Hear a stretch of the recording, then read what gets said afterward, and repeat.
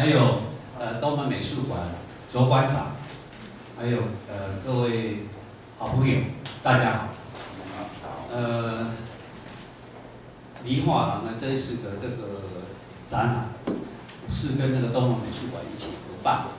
那上一次办李福尼的展览的话是二零零五年的时候，也是我们在新庄的时候。那我想我跟李福尼认识的话，应该是在二零零四。那二零零四年的话，那个时候跟罗馆长，我们有所谓的这个艺术连线。呃，因为我们是在台北。那也很希望，就是说能够跟南部的画廊同业有这个策略联盟的关系，那可以把我们呃北部的艺术家介绍到南部去，然后把南部的艺术家介绍到啊北部来。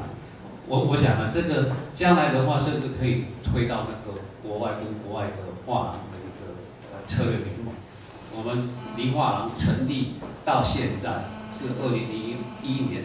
成立到现在一共八年多，办过几十档的这个展览。那比较遗憾的就是第一次我没有呃参展的艺术家呢没有办法到场。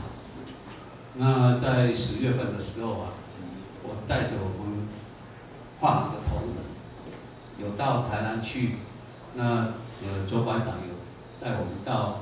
呃，李国林的工作室去看要展览的那个作品。那个时候的话，我们都很高兴这一次的这个展览，他作品准准备的呃呃有五十几件，相当棒的那个作品。哦，我们很高兴说这一次的展览应该可以有呃很好的这个盛况。那当然比较遗憾的是，在十一月八号的时候啊，接到我们周班长的。电话说李凤林李老师啊，不幸因为骑脚踏车在山里面发生意外。那个时候的话，我我我个人也是没有办法接受这样的一个事实，因为这是很突然的，大家都期待这个展览的话可以有很好的这个回响。那没想到就是说在呃展览之前的一个，今天是十二月五号。哦，那是将近一个月前，十一月八号，那有这样的一个事情发生。那我也在我们的部落格里面有写了一篇呃吊气的这个呃短文。